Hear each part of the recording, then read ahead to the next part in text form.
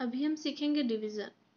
तो हम सीखेंगे, दो डिजिट का सीखते हैं जैसे हुआ, पहले वन डिजिट का सीखते हैं। जैसे कि टू से सिक्स को डिवाइड करेंगे तो क्या होगा, टू के टेबल में कितने बार में सिक्स आता है? तो टू थ्री ज़ा जैसे होता है ना, two into three is six. तो ये जो वैल्यू होता है ना, इसको हमेशा डिवीज़न में यहाँ पे लिखते हैं।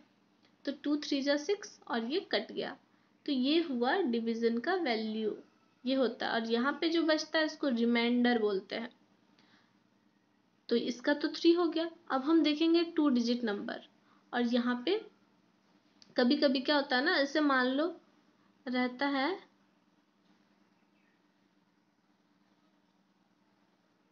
अब होता है टू टू को करेंगे सेवन डिवाइड तो अब सेवन तो टू के टेबल में आता नहीं है तो इससे छोटा क्या आता है? तो सिक्स आता है। तो टू थ्री जा सिक्स लिखते हैं। तो एक बच जाता है। तो ये रिमाइंडर हुआ। तो किसी किसी में बच जाता है, किसी किसी में नहीं बचता है। इसको ऐसे लिखते हैं। थ्री पहले लिखेंगे, उसके बाद वन ये रिमाइंडर ऊपर चला जाएगा और ये जो है, ये नीचे आ जाएगा। और इन दोनों को कैसे करते हैं? थ्री टू जा मतलब अगर हमको यही वैल्यू लाना है तो कैसे करेंगे? इसको इसको मल्टीप्लाई करते हैं और इसको ऐड करते हैं। तो थ्री टू ज़ा सिक्स और plus one seven by two और डिवीज़न ऐसे ही तो होता है कि टू को सेवन से डिवाइड करो। अब देखते हैं थ्री डिजिट का। जैसे हुआ टू का टेबल है और हम करेंगे थ्री सिक्स फाइव को हाँ। तो इसमें क्या होगा ना कि पहला जो है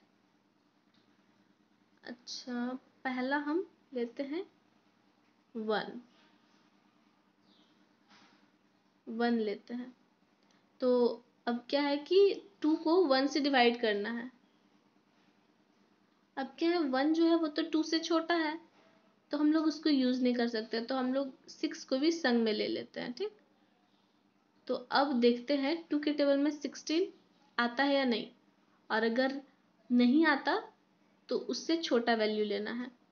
तो आ जाता है टू के टेबल में एट बार में टू एट जा सिक्सटीन तो एट लिखते हैं यहाँ पे, यहाँ सिक्सटीन ये कट गया। माइनस होता है ना यहाँ पे तो सिक्स कट गया। अब ये फाइव ऐसे उतर जाता है।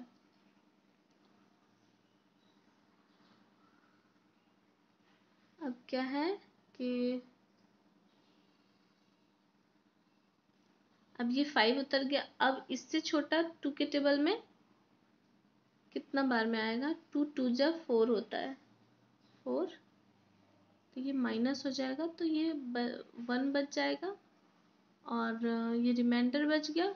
और ये एट्टी टू से अगर हम टू को मल्टीप्लाई करते हैं तो इतना वैल्यू आ जाएगा। और इतना नहीं आएगा? ये कितना आएगा? वन सिक्सटी फोर आएगा। ठीक, ये जो फोर है ना वन सिक्सटी फोर आएगा और एक बच जाएगा। तो यही होता है डिवीज़न ये एक गेम की तरह ही समझो। जो चीज़ बता दिया गया, बस उसी को फॉलो करना है।